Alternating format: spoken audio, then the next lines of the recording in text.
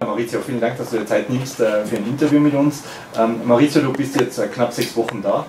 Ähm, wie ist die Eingewöhnungszeit für dich verlaufen? Also besser konnte sie gar nicht laufen, denn äh, ich habe mich schnell ähm, eingelebt, äh, habe natürlich sehr viel Zeit mit der Mannschaft verbracht natürlich, war eine sehr intensive und harte Vorbereitung für alle Beteiligten. Äh, es galt die Mannschaft natürlich äh, voll zu besetzen, das Kader äh, voll zu besetzen. Und das ist eigentlich sehr gut gelungen mit dem Ali Hörnagel und ähm, die Eingewöhnungszeit, was jetzt die Stadt, das Umfeld anbelangt, da habe ich schnell, schnell gefunden, auch dank Christian Stoff, der natürlich Innsbrucker ist und natürlich alle, alle kleinen Dinge, die es zu wissen gibt, mich, mich gelehrt hat. das ist auch wichtig. Und die Stadt ist ja noch ziemlich übersichtlich, nicht allzu groß und von daher habe ich schnell, schnell eingelebt. Dann bleiben wir gleich bei dem Thema. Was sagst du zu, zu Stadt, Land und Leuten? Ja, ich finde es eine sehr schöne Stadt. Äh, ich meine, es, äh, Innsbruck ist halt auch eine von mir gesehen Weltstadt, auch wenn sie klein ist. Äh, man kommt gerne nach Innsbruck und ich habe sie das erste Mal erlebt. Aber ich habe schon von Vergangenheit schon gehört, dass Innsbruck eine, ja, auch das Tirol in sich eine sehr schöne Landschaft ist, schöne Region. Und äh, ich äh, war schon auf das ähm, ähm, schon gewappnet und äh, wusste, wohin ich komme, äh, als ich den, den, Job hier angenommen habe. Und wie begegnen dir die Leute? Äh, sehr höflich, sehr positiv, die mich natürlich kennen. Ähm, natürlich äh, war ich nicht jetzt äh, die ganze Zeit in der Stadt, war eher auf dem Fußballplatz zu Hause. Und, äh, aber nein, ich, äh, ich habe sehr angenehme Leute kennengelernt. Äh, ich meine, durch die äh, Europameisterschaft war ich natürlich auch da und hier ähm, ähm, zusammen mit anderen Leuten an Fußball-Events, äh, das ist logisch und äh, ja, sehr, sehr sympathisch. Mhm. Bei deiner Antrittsrede hast du gesagt, du hast schon 15, 16 Spiele dir im Vorfeld angeschaut, du musst dir natürlich die, die Spieler kennenlernen. Jetzt hast du die Vorbereitung, die Vorbereitung geht jetzt zu Ende, sechs Wochen hast du mit den Spielern gearbeitet, du kennst sie jetzt. Welchen Eindruck machen sie auf dich? sehr guten. Also sie haben seit dem ersten Tag hervorragend mitgezogen. Äh, ich wusste, was die Vorbereitung äh, auf sich äh, hat und, und dass sie sehr intensiv und hart sein würde. eine Umstellung hat stattgefunden, ganz sicher.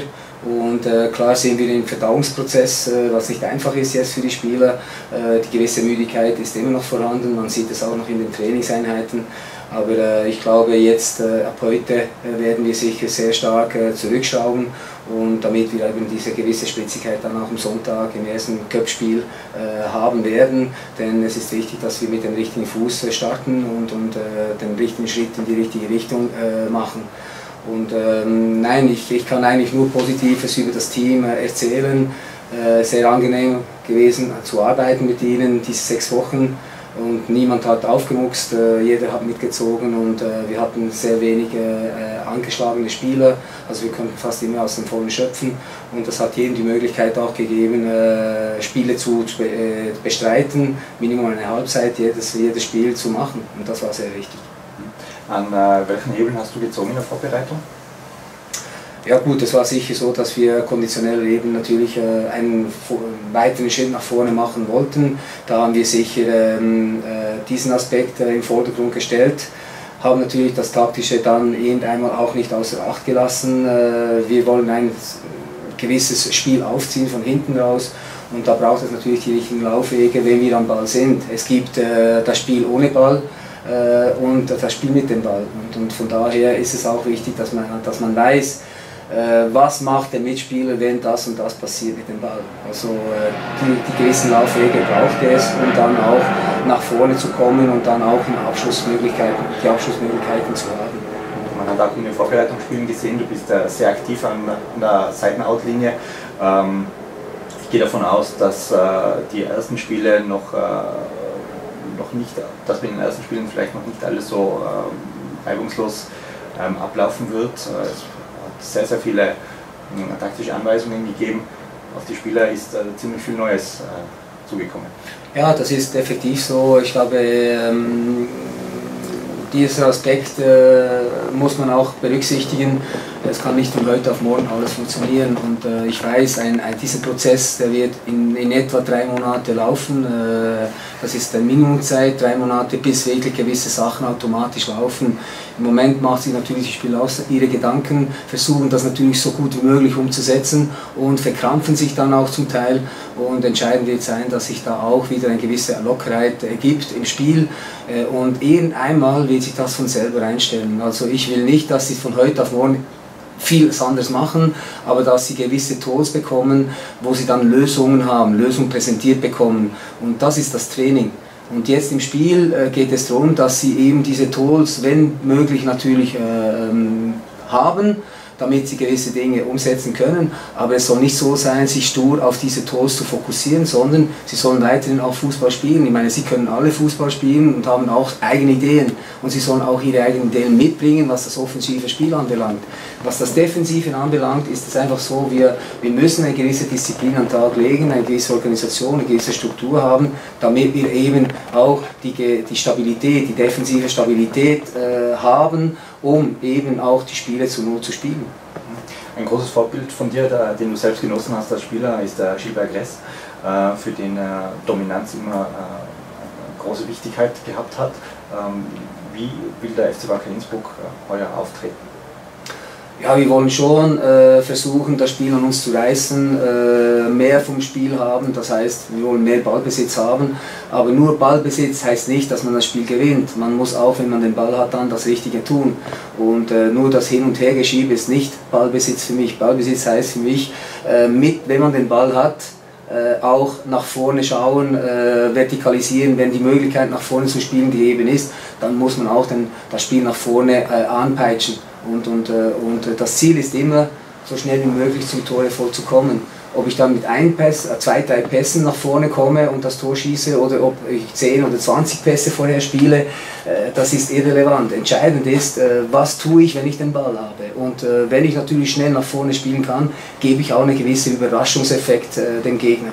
Und man kann ja meistens immer wenn man den Ball erobert, innerhalb von 6 bis 10 Sekunden ist eigentlich die Zeit, wo man brauchen sollte, um zu einem äh, Torerfolg zu kommen. Es ist selten so, dass man von hinten aufbaut und dann über viele Stationen geht und dann am Schluss noch ein Tor passiert, weil der Gegner kann sich immer wieder schön äh, aufbauen, äh, nach hinten absetzen und auch die Räume zu eng machen. Und dann braucht es natürlich äh, sehr, sehr viel technisches Vermögen, um dann eine, eine geordnete, geordnete Abwehr in Verlegenheit zu bringen.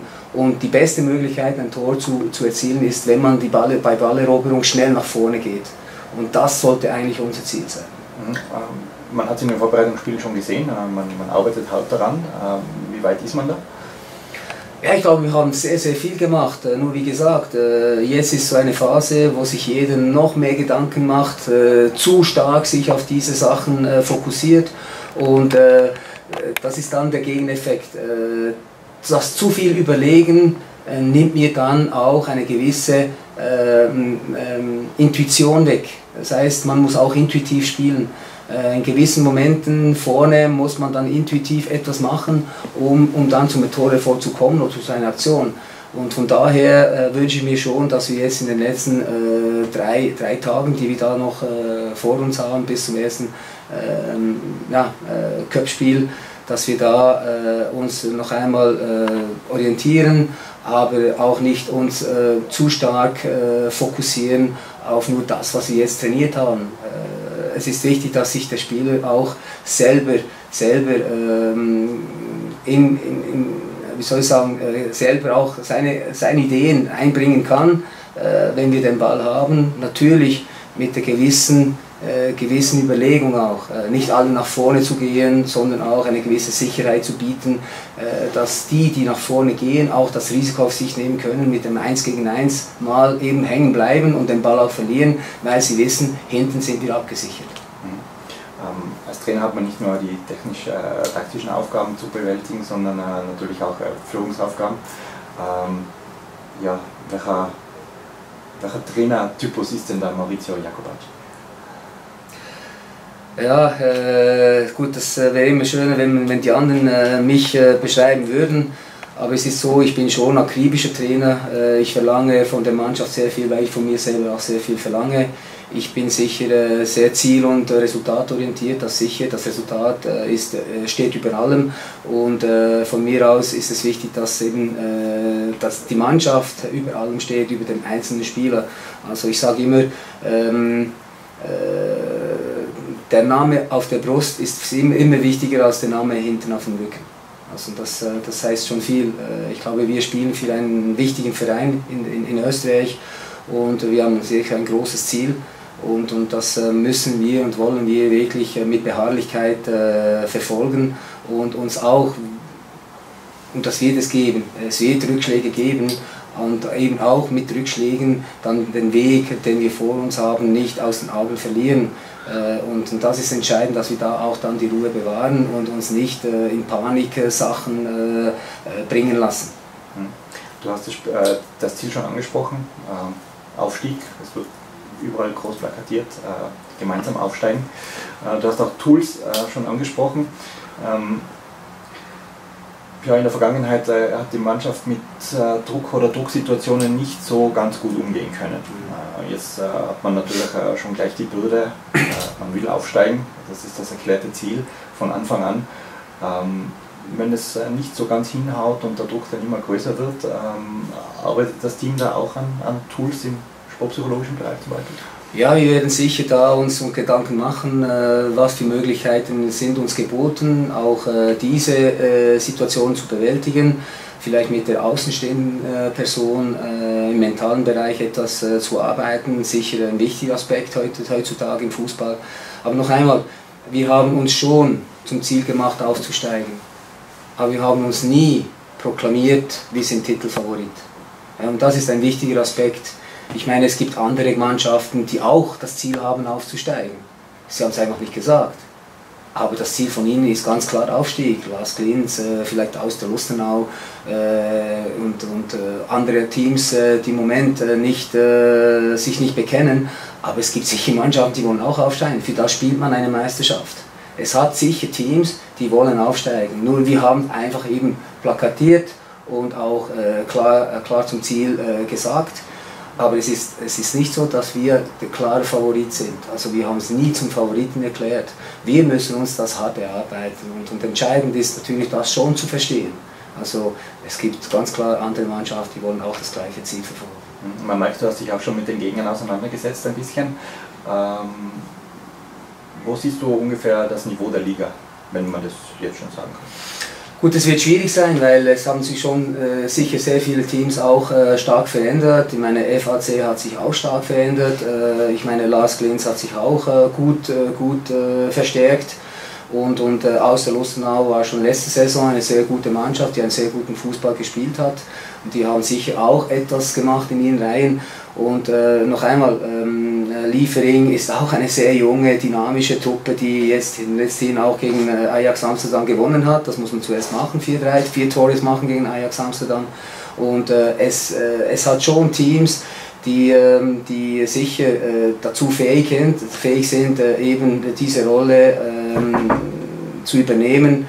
Ähm, auch ein Favorit zu sein. Und, und das ist auch, auch äh, wichtig zu wissen, dass äh, natürlich äh, wir als äh, Wacker Innsbruck, ähm, wir verkörpern etwas Wichtiges äh, und, und jedes Team, das gegen uns spielen wird, wird top motiviert sein.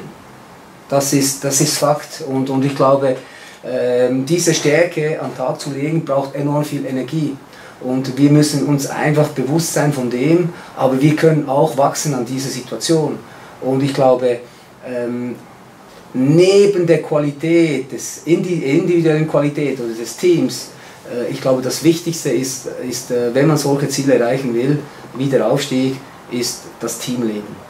Äh, darum sage ich, das Team muss immer über allem stehen und wir müssen uns diesem auch unterordnen. Und das heißt, ich akzeptiere die Rolle, die, die ist, ich bin mal Ersatz, ich bin mal auf der Tribüne, wenn alle dabei sind, ich bin mal Stammspieler, ich komme aus der Bank und so weiter. Aber das Ziel muss sein, bereit zu sein, wenn ich eingesetzt werde. Immer bereit sein, um jede Minute, die ich auf dem Platz stehe, 100% Vollgas zu geben und mich für die Sache investieren. Und wir sind eigentlich, indirekt ist es ja so, wir sind ja eigentlich bezahlt, um die ganze Zeit zu trainieren, um für den Club bereit zu sein, wenn ich dann eingesetzt werde, um Höchstleistungen zu bringen. Das ist meine Aufgabe als Spieler. Ich als Trainer habe dann die Qual der Wahl. Ich hoffe, es ist so, dass ich immer wieder alle zur Verfügung habe und dann wirklich in Schwierigkeiten komme, äh, indem dass ich entscheiden muss, welche Spieler dann auflaufen am, Samstag, am Freitag. Und, und äh, dann gibt es Härtefälle. Und dann kommt das Bauchgefühl, okay, ich entscheide mich für diese Lösung. Aber ob die richtig ist, weiß ich erst dann nach, nach dem Spiel. Aber die Qualität des Trainings ist gegeben durch das Team. Wie investiere ich mich im Training? Gebe ich Vollgas im Training, damit wir wirklich den Ernstkampf trainieren können? Wenn wir das so hinkriegen, wird es ganz sicher leichter sein dann am Freitag in der Meisterschaft gegen die anderen Gegner. Ähm, wir kommen gerade vom Training. Äh, man hat gesehen, äh, ja, das, erste Team spielt gegen das 1B-Team und äh, man muss sagen, unterm Strich, ja, die Jungs machen es dir nicht einfach, eine Startformation zu finden. Nein, nein, es ist so. Ich bin auch sehr froh darüber. Äh, ich meine, das, das, das zeigt ja auch, dass jeder wirklich bei der Sache ist und top motiviert ist und alles gibt, damit er am, am, am Samstag, Sonntag, Freitag äh, auflaufen kann und darf. Es ist nicht ein Muss, es ist ein Dürfen. Und, und äh, für mich ist es wichtig, dass eben jeder, jeder eingesetzt werden kann. Und das ist ein, entscheidender Faktor. Und, und äh, ich habe es lieber so, diese Schwierigkeit hier, als, als wenn sich eine Mannschaft von selber aufstellt, weil wir eigentlich keine Lösung, andere Lösung haben. Wir haben äh, das, das, das Ziel vor Augen und wir haben auch ein Team aufgebaut, äh, zusammengestellt mit Ali, das äh, Qualität hat. Und, und äh, ich glaube, wenn wir wirklich unsere Qualitäten ausspielen, dann werden wir sicher eine hervorragende äh, Saison ähm, abrufen können. Und am Schluss der Saison ist natürlich auch etwas sehr Wichtiges. Da kommen dann vielleicht gewisse Spieler zum Zuge, die vielleicht Anfangssaison noch nicht richtig zum Zuge gekommen sind, aber weil eben äh, die Saison äh, gewisse Ausfälle, äh, gelbe Karten in sich gezogen haben, wo dann gegen Ende eines, einer Saison dann äh, wirklich um den Titel gespielt wird und dann diese Leute, die vielleicht weniger zum Zug gekommen sind, dann die Differenz machen. Und die sind dann äh, nicht die Gewinner, aber die gehören auch dazu. Ich habe gesagt, jeder Spieler ist ein Puzzlestein. Und er könnte sogar die ganze Saison nicht gespielt haben. Er gehört dazu, weil er die anderen zu Höchstleistung gepusht hat, auch im Training. Also das ist auch etwas sehr wichtig zu verstehen. Jeder hat eine Aufgabe hier in diesem Team. Und ob er spielt oder nicht spielt, die Wichtigkeit ist ihm gegeben. Und das ist entscheidend. Am Tag der offenen Tür hast du auch äh, den Fans eine wichtige Rolle äh, zugesprochen. Wie siehst du deren Aufgabe? Ja gut, äh, die Fans sind äh, eminent wichtig. Ich glaube, wir, wir genießen eine sehr gute Fangemeinschaft, die heißblütig sein kann oder ist auch. Und ich glaube, man sieht, wenn, wenn wir einigermaßen einen positiven, schönen Fußball, in Anführungszeichen auch aber resultatorientierten Fußball spielen, der auch Resultate bringt, dann ist, äh, dann ist das Publikum schnell auf unserer Seite. Und das ist sehr ein wichtiger Faktor. Und diese, diesen Faktor müssen wir versuchen auszunutzen, vor allem zu Hause. Ich weiß auch, dass sie auswärts uns auch stark verfolgen. Und das ist schon ein Faktor, der nicht zu unterschätzen ist.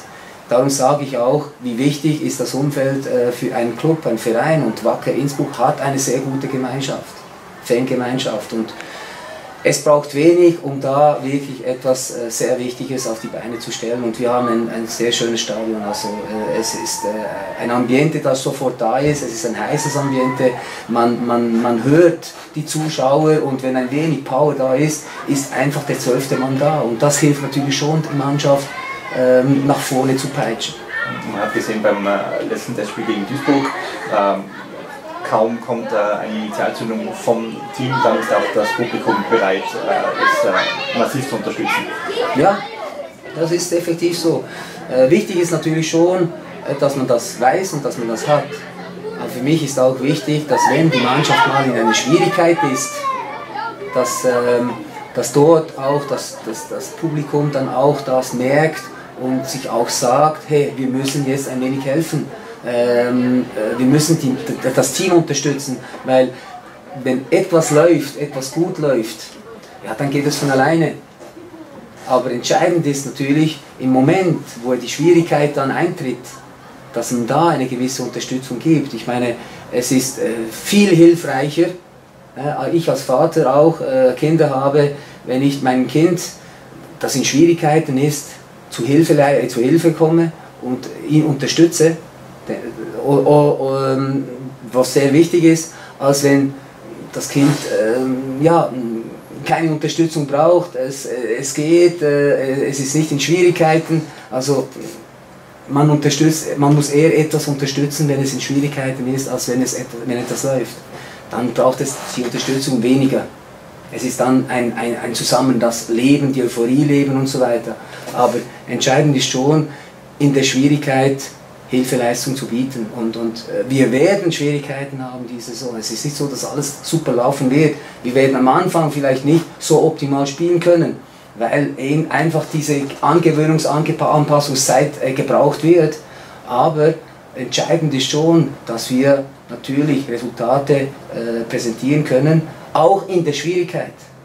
Aber in der Schwierigkeit heißt auch mit den Fans im Rücken. Das erste Pflichtspiel steht am Sonntag vor der Tür. Äh, erste Cup-Runde beim SC Mansdorf, der Aufsteiger in die Regionalliga Ost. Ähm, wie geht man das Spiel an? Ja gut, äh, wir wissen, dass wir natürlich ähm, der Favorit sind. Das ist einfach so, das kann man nicht äh, abstreiten. Und das heißt für uns, äh, wir müssen versuchen, das Spiel in die Hand zu nehmen, äh, den Druck aufzubauen, wie wir uns das vorstellen, äh, aber mit der Bewusstheit auch, dass wir ihnen nicht die Kontermöglichkeiten zugestehen, denn da sind sie gut. Sie haben sicher gewisse Erfahrungswerte in ihrer Mannschaft. Äh, sie haben im Moment etwas an Geld wo sie einen der anderen Spielen geholt haben, der sicher auch in, der, in unserer Liga spielen könnte, ohne Probleme, der auch früher in der Bundesliga gespielt hat. Und äh, wir werden sicher uns äh, sehr stark auch mit dem Gegner auseinandersetzen, auch im Vorfeld, das, das machen wir. Dann diesen Respekt zollen wir jedem Gegner, weil ich möchte, dass meine Mannschaft, äh, auch gegen welchen Gegner auch immer sie anzutreten hat, auch weiß, gegen wen sie spielt. Weil das ist immer eine Hilfe. Äh, wir wollen keinen Gegner unterschätzen, das haben, da haben wir kein Recht dazu. Wir müssen, uns die Resultate immer äh, erarbeiten und, und das gilt ähm, wirklich mit Respekt dieses, dieses, dieses Spiel anzugehen, aber mit der Bewusstheit und der Überzeugung, dass wir das Spiel gewinnen wollen und äh, dass wir ähm, das Resultat so schnell wie möglich in die richtige Bahn äh, leiten wollen. Der Cup ist in Österreich äh, ja, wird etwas ähm, ja, stiefkindlich behandelt. Ähm, wie wichtig ist für dich der Cup? Nein, der Cup ist immer etwas Wichtiges. Also ich habe das äh, immer in, auch in der Schweiz so empfunden. Äh, Cup ist ein, ein nationaler Bewerb. National heißt, er, wird, er ist wichtig in ganz, in ganz Österreich. Und das ist schon entscheidend. Äh, man kann plötzlich gegen eine Bundesligamannschaft spielen, man kann sich dann auch immer wieder messen. Und ich glaube, äh, einen Cup gewinnen ist, äh, ist immer wichtig. Also es ist ein Titel. Und dieser Titel gibt jemandem die Möglichkeit, dann auch in der Europa League präsent zu sein. Und, und, und also ich weiß von der Schweiz her, wie wichtig so ein, ein Cup-Titel ist. Und, und, und ich glaube, wir werden diesen Cup auch so bestreiten, dass wir immer eine Runde weiterkommen können. Ähm, man braucht auch immer ein wenig Glück, aber wir haben auch ein, ein, ein, ein Kader, der in der Breite gut aufgestellt ist dass das nicht eine Belastung sein kann und muss.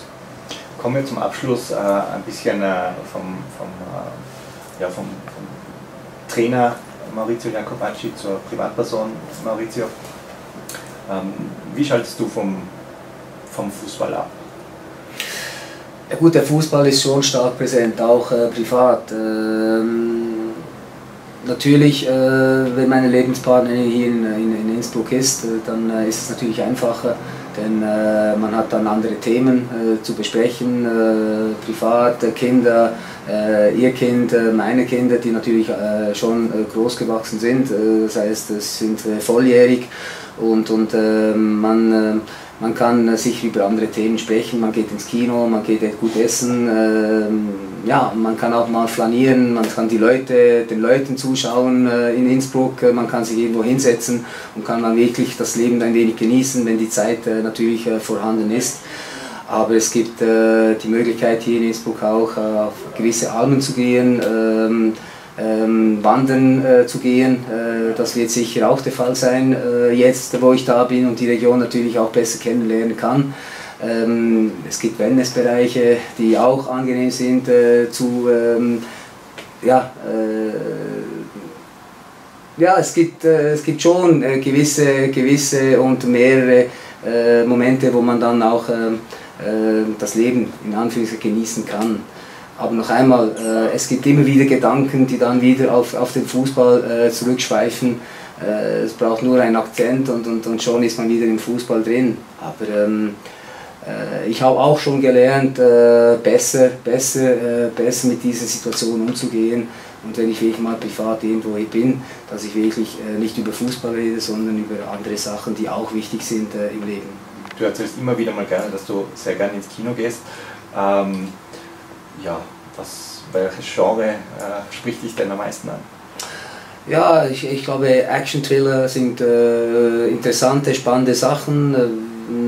Ich habe ich hab mal James Bond gesehen, äh, ähm, die, die Effekte, die da gemacht werden. Klar, man hat sehr viele Millionen zur Verfügung, kann natürlich gewisse Sachen auch sehr, sehr gut umsetzen. Aber ähm, es hat ähm, ja, diese Filme, äh, die inspirieren mich schon. Es gibt auch andere Filme, die auch einen Sinn dahinter haben, äh, wie, äh, wie Team, äh, Teambildungsfilme, äh, ob das eben mit Sport zu tun hat oder andere. Aber ähm, sind auch ähm, sehr interessante und spannende Sachen, wo man auch etwas rausziehen kann, wo man dann auch weiter, weitergeben kann und auch äh, brauchen kann als, als, als, als, ähm, ja, als Schlüssel auch mal mit einem Team äh, wo man gewisse Sachen auch einbringen kann. Es äh, äh, gibt auch lustige Filme, die man sich auch anschauen kann, wie Hangover. meine, ich bin jetzt nicht nur fokussiert auf ein, eine, eine Richtung, aber das, das Kinoleben ist natürlich auch etwas, eine große Leinwand, 3D-Filme sowieso sind natürlich auch schön anzuschauen. Und die Effekte, die das äh, hier gibt, äh, sind natürlich Mega-Effekte und, und äh, die kann man nur eben im Kino, Kino erleben. Und äh, Kino anschauen heißt nicht nur zum Kino gehen äh, und reinsitzen, sondern es gibt ein Vor und ein Nachher. Und, und das, das ist ein Zusammenspiel und das ist für mich ein Ausgang. Statt in eine Disco zu gehen und, äh, und nicht reden können mit jemandem, weil die Musik so laut ist, ähm, genieße den Namen eher in diesem Sinne. Es ist ein Abtauchen in eine eigene Welt, in eine andere Welt. Ja, es ist schon so, ja, es ist schon so, klar, im Kino redet man auch nicht mit der Lebenspartnerin, aber man hat dann auch wieder äh, gewisse Sachen, wo man diskutieren kann, über den Film, äh, über äh, ja, den Inhalt, äh, auch sehr spannend ist. Äh, es gibt ja wahre Geschichten auch im Kino, die dann erzählt werden und, und äh, diese wahren Geschichten sind auch etwas Wichtiges.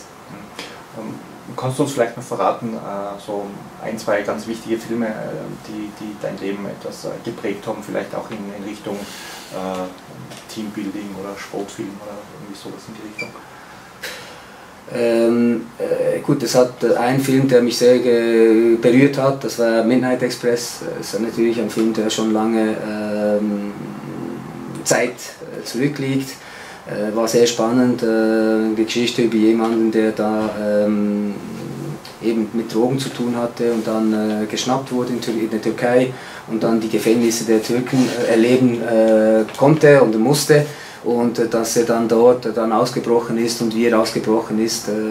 es hat schon, schon ja, es ist Hühnerhaut eigentlich, weil das ist effektiv so, also es ist wahr.